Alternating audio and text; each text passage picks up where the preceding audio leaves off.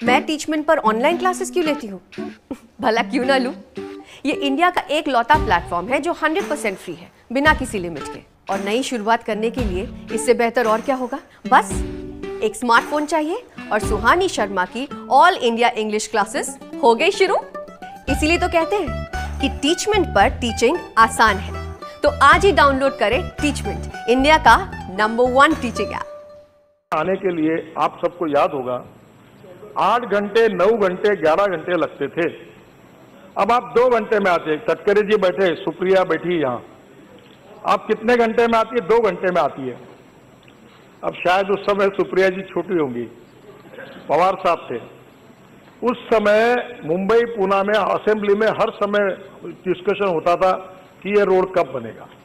पैसे हमारे पास नहीं थे। अब हमने कर्जा निकालकर पैसे निकाले तो टोल लगाया।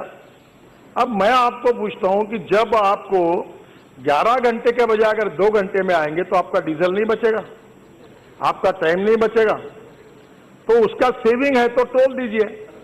और इसलिए आप कुछ भी कहते रहिए, सरकार के पास पैसे नहीं है। जब तक आपको अच्छे रोड चाहिए तो आप if you want good services you have to pay for it मैं परसों एक कार्यक्रम में गया था ताज सिंह में, मुझे बोले, आप टोल रद्द करो। तो मैंने कहा, आपने मानसिंह में कार्यक्रम क्यों नहीं लिया? अगर मानसिंह में कार्यक्रम लिया है तो पैसा देना पड़ेगा। फुकट में है तो रामलीला मैदान पे बैठो ना।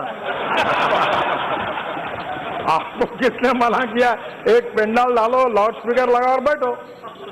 जब तुमको वहाँ वहाँ फुकट में है पर आपको अच्छे जगह बैठना है एयर कंडीशन में बैठना है, अच्छी केयर चाहिए तो पैसे देने पड़ेंगे। फुकट में कैसे होगा?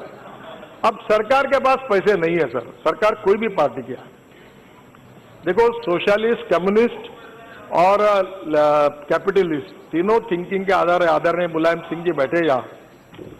जॉर्ज फर्नांडिस को मैं अपने जीवन में अपना आइकॉन मानता हूँ। डॉक्टर लोहिया जी को मैं बहुत पढ़ चुका हूँ। और मैं ये मानता हूँ कि यह सच्चाई है कि चीनी, चीन और रशिया ने भी कम्युनिज्म को छोड़ दिया। वो लिबरल इकोनॉमी की तरफ़ चले गए, क्योंकि ये दोष नहीं देना है किसी को। सब बड़े लोग थे।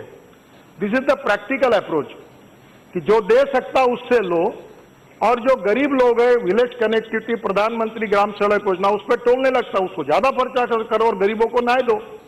अगर बड़े शहर के दिल्ली का रिंग रोड, पंद्रह हज़ार करोड़ का अगर मैं अपने बजट से बनाऊँगा तो हिमाचल प्रदेश में अरुणाचल, मेघालय, त्रिपुरा में जहाँ टोल नहीं मिलता, वहाँ रोड के लिए पैसा कहाँ से आएगा?